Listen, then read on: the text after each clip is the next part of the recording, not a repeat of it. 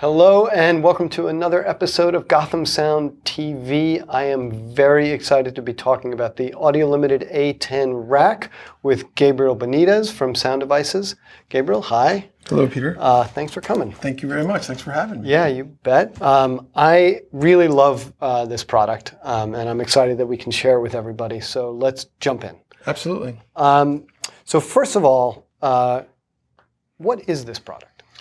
The A10 rack was designed to allow a sound mixer to repurpose their bag receivers and put them in a cart as a way to be able to switch from one format to the other. One format meaning like I could go from my bag to my cart and then back to my bag. Exactly. And they do that um, because it, it's using the standard Unislot um, connector on the back, that DB25. That is correct. Every slot in the A10 has a 25 pin uh, connector, and that's how the A10 rack communicates with the receivers that are inserted. Uh, so and four receivers, so it, meaning uh, each receiver in theory is two channels of RF, um, and eight audio eight audio pads out. That is correct. The receivers that are compatible with the A10 rack are the Lectrosonics SRBs, the SRCs, the Wisycom MC42, mm-hmm. and the A10 receiver from Audio Limited. And all those receivers are dual channel. Mm-hmm. So whatever, however you have it populated, um, those receivers basically uh, you'll have uh, two channels, uh, two outputs per receiver in the back of the A10 rack.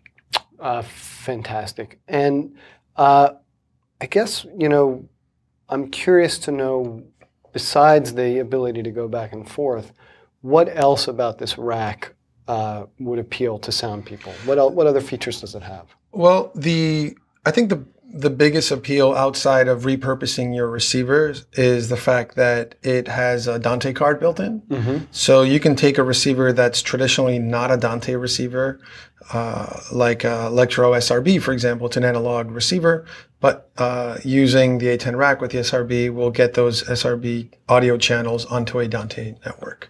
Huh uh, Sound Devices has a couple of Dante recorders. Yes, we do. We have the 970 recorder, uh, and that's a 64 track uh, digital recorder with Dante, and it will be a great way to integrate anything you have in the A10 rack and go straight into uh, into the 970 recorder that way. But it doesn't just have Dante; it's got analog out. Correct, and um, and AES out. Yeah, I guess yeah, I think we could uh, we can turn this around. We can flip this over and show the back of the receivers. Bet. So we have, um, okay, I'm going to go over here. So if you're using the analog outputs of any of these receivers, uh, you'll have analog output one and two for the first slot, three and four for the second slot, five and six for the third slot, and seven and eight for the fourth slot. Mm-hmm. And in the case of the A10 receiver, internally you can switch it from. My, my ADD wants me to do this. I'm sorry. Uh, that's all right. There we go. So if you're using the A10 receiver in the menu, you can switch from analog to digital. Mm-hmm. And if you do switch it to AES, then uh, this output, like in this case, we have an A10 in the first slot and an A10 in the fourth slot. So the uh, if you set them to AES, you'll get channels one and two out of this XLR connector. Got it. And then if you do the same thing on the other side, you'll get it out of that. Otherwise, if you're using analog, you use straight uh, the, the, the XLR connectors. I'm uh, curious. Um, I, th- I, thought that the decision to do um, AES was really interesting. What, what was the logic behind it on Sound Devices' part? Well, I think the, the decision to go AES is more on Audio Limited's decision mm-hmm. because they knew that their their receiver was going to be able to operate both analog and AES. So uh, let me just uh, make sure I understand something. Is the AES active regardless of whether the receiver is capable of generating AES, or does the receiver generate the AES? The receiver generates the AES. Okay, so it's only going to work if the receiver can. Th- that is correct, okay, and let's say the A10 rack is out of the question. You mm-hmm. just have an A10 receiver in a mm-hmm. bag. Mm-hmm. You can manually switch it to AES mm-hmm. and then take that one output and connect it to the AES input of your recorder. Got it. Okay, that's So- great. Um, but the other thing I wanted to show in the back uh, is the, the the Dante connector. Yes. So you get your primary and your secondary, and you can use a Dante connection independently from this. So you can use Dante only, you can use them both at the same time, or you can use these and not use the Dante. It all depends on how you want to. Um, it all depends on how you want to uh, configure the system. Yeah. The other thing I want to talk about is that it's DC powered, so it's uh, obviously uh, designed to operate in a rack. Um, I'm going to get to the USB connector in a moment, Good. but um, I want to talk about the uh, the RF inputs and outputs. Yeah. So these uh, these are the RF ins right here, uh, the A and B antennas. But then in the middle where it says output, that is the cascade output. And the, the the purpose of the cascade, or other people call it daisy chain, is to get another A10 rack on the same uh, antenna connection. So um, it, is it set up for unity gain? So in other words, um, it's not a passive split. It's It's a- an active split. It's an active split. It's an active right. split. And so if you need to get uh, 16 channels of wireless on two antennas, Mm-hmm. you can simply just take those antennas on your cart, connect it to the first one, take the outputs of the first A10 rack and connect it to the input of the second A10 rack, and uh, they'll work perfectly. And the A10 racks are completely wideband. So you can throw the receivers around at you know to your heart's desire as far as where you want them mechanically and physically located in in, in the car. In, interesting. Um, the one thing to note is you don't want to cascade more than 2 Mhm. because because it's an active uh, split. Yep. Um, anything more than two would increase the the noise floor within the system Yes. to a point where it won't be helpful for any of the receivers in the third cascade. Right. So one of the questions that I often get is, how do I get more than two A10 racks on the same pair of antennas? And the answer is that you passively split the antennas 1st Mhm. So you would take, in this case, we have these two antennas, and you feed each antenna into a passive splitter. Mm-hmm. And it's important to use a high quality passive splitter Correct. that is linear across all the frequencies that the passive splitter uh, is labeled uh, to operate in. Yes. You want to avoid using the traditional BNCT connectors Right.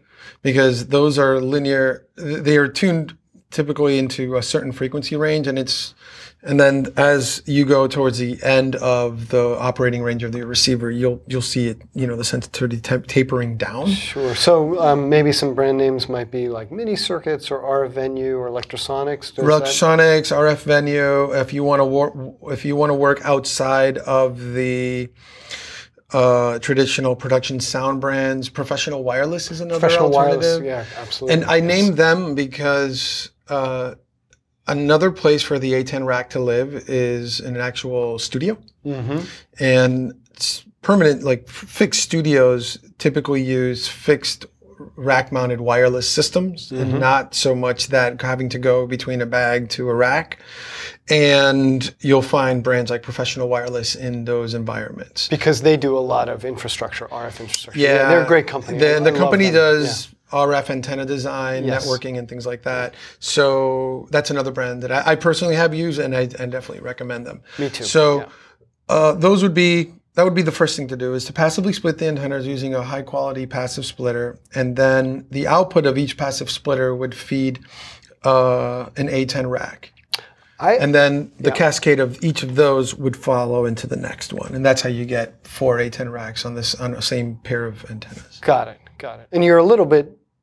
You, you lose 6 dB with the passive split, or 3 dB. Three, yeah, depends on how much. It can be anywhere between three, three and a half dB. Uh, the, the manufacturer of the splitter will tell you what that is, but you can compensate the passive, the loss in the passive split by using directional antennas. Yep. So log periodics typically have about six dB Right. of forward gain, and that would that would compensate for the for the passive split. Right.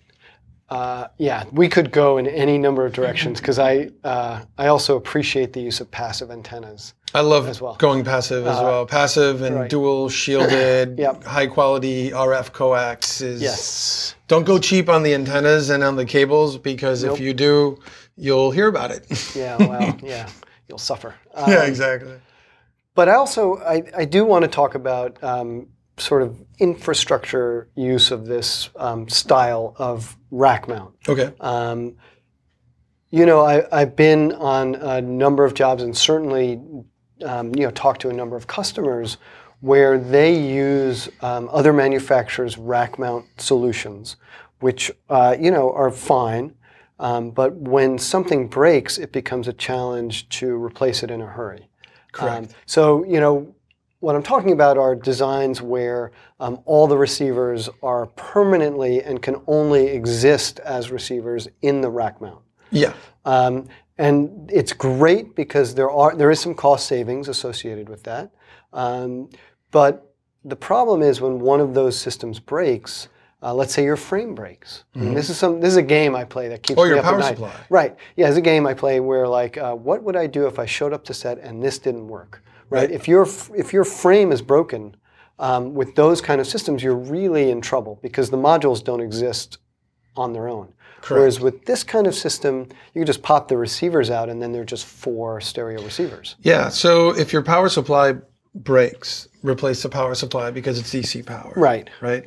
Um, if the A10 is damaged, you can pull the receivers and replace it with an A10. Right. But if one of your receivers is damaged or I don't know, freezes or something mm-hmm. happens to mm-hmm. it, pull out that one channel. right. And it's a it's a very practical way to troubleshoot. Just turn your transmitter on, tune all your receivers to that one frequency, and listen channel receiver channel by receiver channel on your console until Sure. you narrow down the the one that's behaving Mm-hmm. in an unusual way. And that only that that's not limited to audio. It's to limit. It, you can see it in RF as well. Yeah. You look at your RF meters across all your receivers, and if all of them are tuned to the same frequency, but I don't know the second slot receiver uh, RF meter is two bars down while everyone is full strength, there's something going on on that, right? Uh, And it's very easy to deal with in this kind of configuration. Correct. Um, Correct. Whereas, yeah, and that's that's really what I, I love about this kind of configuration. Um, it- Troubleshooting on set is is definitely an art and a science, and and having the ability to switch back from Right. one format to another format is is is key. Absolutely. Yeah. Um, all right, and then let's talk about the Dante and some of the, you know, we, we talked about the USB uh, port. Absolutely. Um, the Dante is really interesting because, uh, you know, that's a full-on, um, yeah, it's, it's, it's eight Dante streams coming out of the unit. Um, you can route them just like any other Dante signal. Um, we in Atlanta showed um, how you could power this remotely over the coax, over the Cat5 cable, um, you know, using off-the-shelf power over Ethernet products. Oh, very cool. And that's, yeah, it's an exciting use of this. So you can really remote the receivers. Um, there is another aspect to this, which is um, you can also get software that would work over the USB port. Can, can you tell us about that?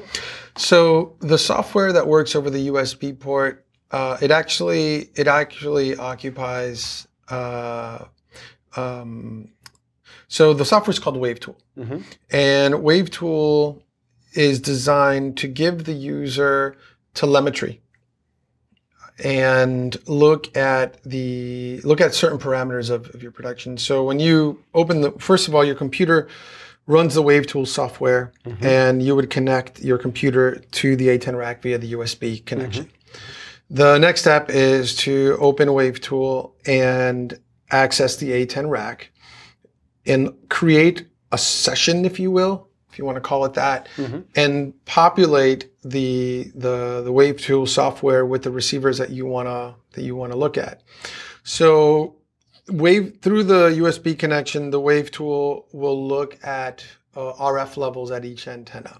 So imagine a reality show environment where you have multiple floors, let's say an apartment or a house or a hotel, and you have multiple floors, and talent has to move freely from one floor to the other.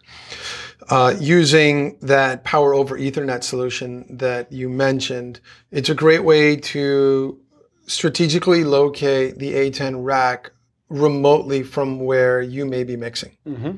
So WaveTool uh, will allow you to see um, the the RF levels of the receivers Mm-hmm. that of, of the transmitters that are walking around, and specifically, this is very important, A antenna and B antenna. Right. Because in an environment like this, like this example, uh, the locations of your antennas are not always going to be aiming in the same place. They're going to be trying. They're going to try to cover a specific location.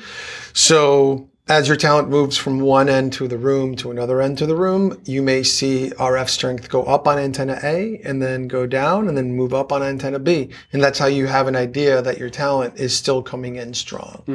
But the other advantage to WaveTool, this is what I really like, is that it uses the Dante network Yeah. uh, in order to allow you to hear that person on your computer using Dante Virtual Sound Card. Right. You're literally routing the Dante stream using Dante Virtual Sound Card. That's just one route. You can route it, you know, to other places too.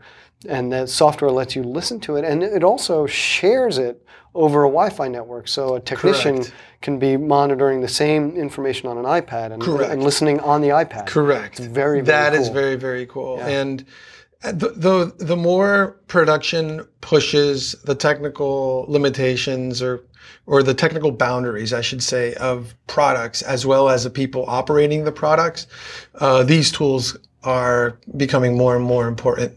Yeah, we should um, we should do another video about WaveTool. Oh, absolutely. another video. All right, um, so back to the A10 rack, um, and we'll have links to all of this stuff uh, down below. Um, back to the A10 rack. Um, audio uh, is analog, AES, or Dante, DC power.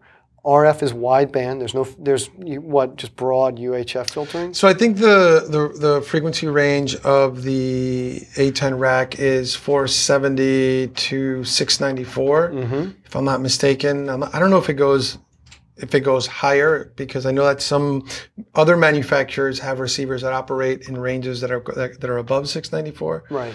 But it definitely occupies the the full band, like within the legal range in the U.S. Right. It, it definitely covers it. And 694 to uh, will 470 to 690 uh, to 608 is what we use in the U.S. But, But- in other places it goes to 694. Right, and that'll let us use the guard band um, and the duplex gap. I believe well. so. Yeah, Yeah. okay, good, good. So I wanted to turn this around real quick Mm-hmm. because there's a there's a trick that I want to share uh, with with the viewers at home. Mm-hmm. This switch, ooh, this switch, this switch uh, allows you to turn the A10 rack uh, by in this position it administers DC power, Mm-hmm. and in this position it does not. DC power to the antennas. Yeah, the DC bias that that goes through the antenna coax. So if you're using passive antennas, there's no need to turn it on and consume your cart's battery. Right. But if you're using active antennas, it's important. But now here's the trick: there Yes. are some antennas. There's some manufacturers. We could say Wisycom is, is And- definitely one that I would yeah, say. Yeah. and I think Lectro has one as well. Oh. That that's supposed to go from active to passive. Right, they have so a if it senses, Right. right? It's a normally closed relay, so it be, it's passive without power, Correct. and then the power makes it act, puts Makes in all it the active. active circuitry. Yeah. So the the trick, and you know, you got to use this very carefully Yes. because it if, if you don't use this properly, it, it could totally nip you in the butt and, and and mess up what you're doing. But if you're in an environment that has very clean RF, Mm-hmm. like you're out in the, you you you are literally in the middle of nowhere. Mhm. And you're using your passive antennas just to have robust coverage in a certain area. If you do turn up the gain of your antenna to say 3 or 6 dB, just to kind of get a little bit further, knowing that there's no RF in, in the environment, you could technically flip this from passive to active and it'll act ampl- it will turn on the amplifier and the antennas. Now note, the the purpose of having ampl- uh, amplifiers and antennas is not to get range. The purpose is to compensate the loss that goes in the cable and then the loss that happens in any passive split between the antenna and the receiver. The goal is for the receiver to see the same RF quantity that it would not normally see if it was connected through a coax because there's loss in the coax. Right. And the loss is affected by uh, the length of the cable, the type of the cable, and the frequency range that you're using. Mhm. So all this has to be calculated beforehand. But if you do have unity gain, if you will, from your directional antenna to this, and then you turn the amplifier on, you can effectively make it a little bit more sensitive. Mhm. And it might give you just that little edge to, to, to go a little further. And it's a pretty cool technique, but you have to have, like, you wouldn't want to use this in a very noisy RF environment. Right, and explain why that. What happens in a noisy RF So when you in, when when you over amplify uh, any receiver, um, what happens is that it, you know what, it would be it would be analogous to let's say I have a shotgun microphone Mhm. and I kind of tune it for this distance, right? Now let's say I I run the microphone preamp really hot, so even a whisper sounds very loud, and then you yell what happens? You basically the microphone. You're not going to overload the mic, but you're going to overload the preamp that that mic is feeding. Mhm. It's that same effect, and it'll sound loud. It'll sound distorted. It'll sound weird. So when that happens with a receiver, that distortion, if you will, causes the receiver to confuse between the intended signal and the, and the background noise, which is why you don't want to do this in a noisy environment. Yeah. And you'll cause the receiver to mute. I I find, you know, I started mixing in the '90s, uh, like on set, and um, you know, RF had their own had its own challenges, but over the years, I've seen the RF noise floor jump up on sets, and you know, that's my, that's where I spend a lot of my time, and, and that's where I notice. I mean.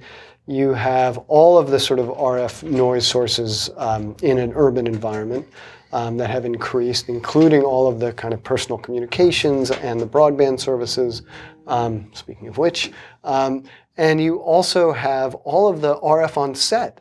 Um, I haven't been on a set where they cabled a camera in a long time, um, so all of that wireless video. And don't forget about LED walls. LED walls are just giant noise sources, and LED lights. Um, the higher end ones are better. lights, yeah. yeah, but the the um, you know like a lot of the lighting now is done by um, LED, and and you know the kind of high frequency switching that goes into dimming them, and all of that stuff adds to the noise floor.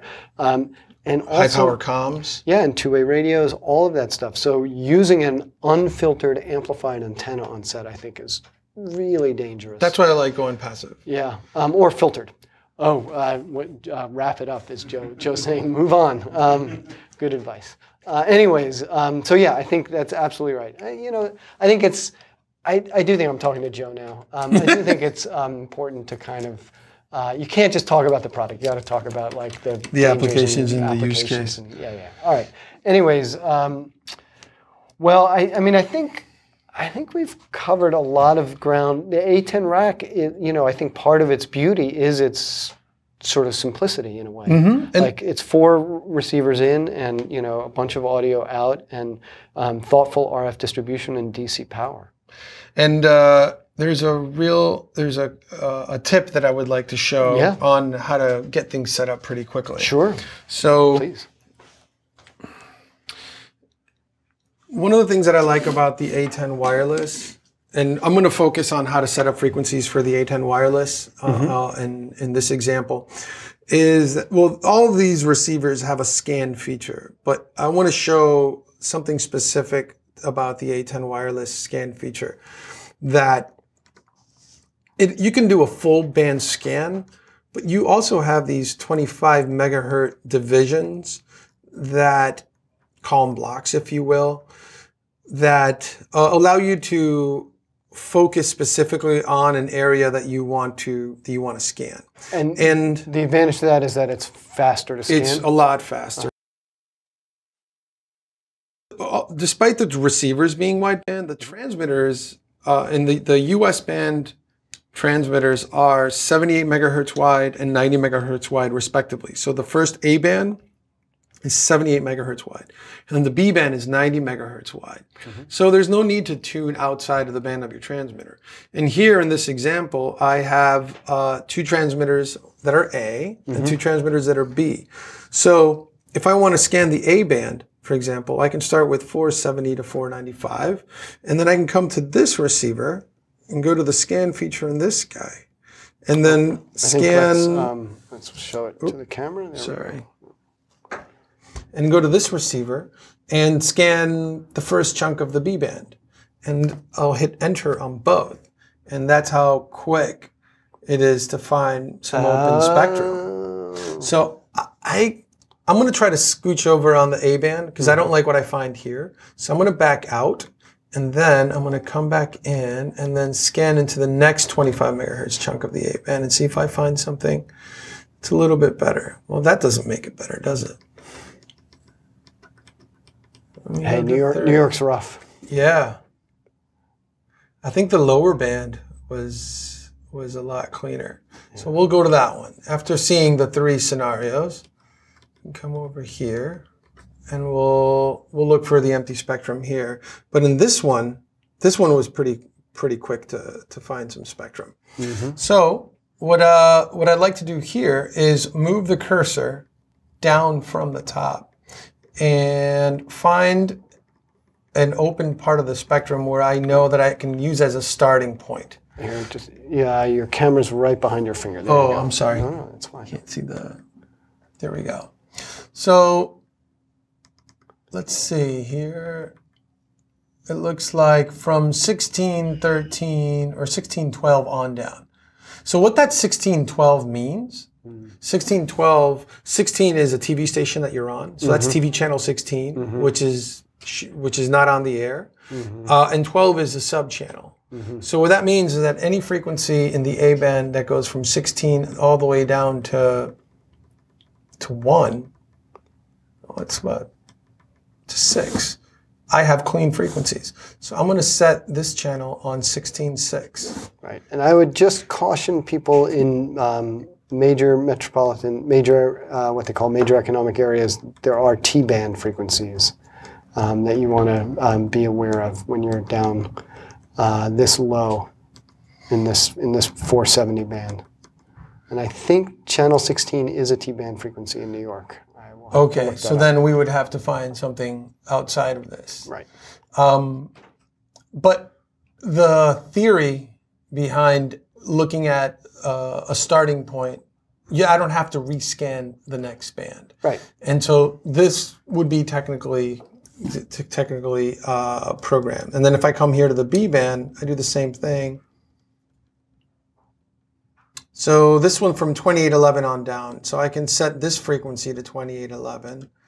And then I go to channel 2, and I don't need to do another scan. Let's just take a minute to focus. Oop.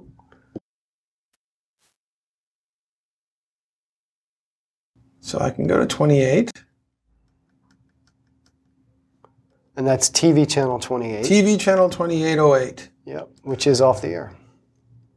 So here, 2811, 2808, these frequencies are clean and programmed. Same thing here. So now the next step would be to just come to the transmitters, mm-hmm. turn them on,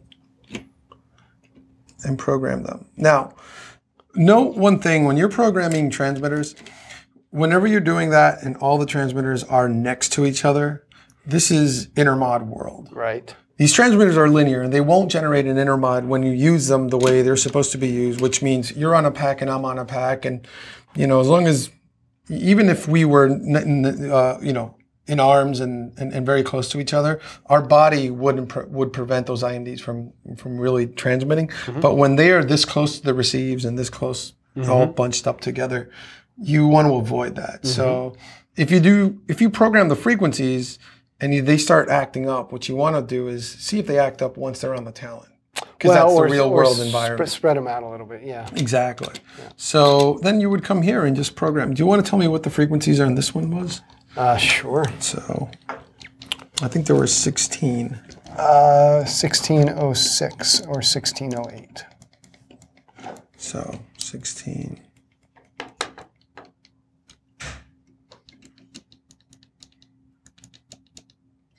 There we go.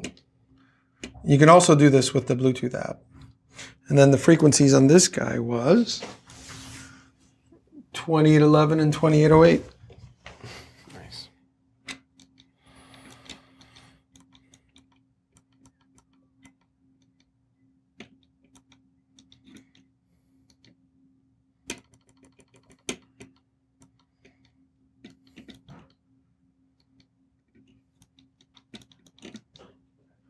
And there we go. Beautiful. All right. When the green light is on, that means that uh, the system is locked. It's also an error correction indicator. All right. Well, let's um, for the audio for the A10 specific stuff. We'll do. We'll save that for the next video. Sure. Um, but I, that's a great tip to like. Yeah, you can have multiple receivers scanning different chunks all at once. which I Exactly. Saves. Exactly. Just scan tremendous within the amount of band time. of your transmitter and save time that way. Yeah. Um, any any questions, Joe, from from the audience? Any any? Uh, We had one question. Uh, can this work with the sound devices 633, 664, 688? I mean, um, I, I I can answer that. I think. Go for it. Um, yeah, I mean, an- analog is analog, and Analog and, could even go AS AES. is yeah, AS yeah, as well. So yeah, it will work with uh, with those recorders. Yeah, um, I but there's no uh, like this six eight eight can't control the. That is correct. There's no super slot Right. control. Uh, that's why I showed you how to quickly use the scan feature of the A10s in order to accelerate setup. Yeah. Uh, can I can I forward that suggestion to the suggestions department of of uh, Super Slot Control? Absolutely, good. absolutely. One of the things that the, the viewers should re- know is that the A10 wireless and the A10 rack is not our last system. It's our first.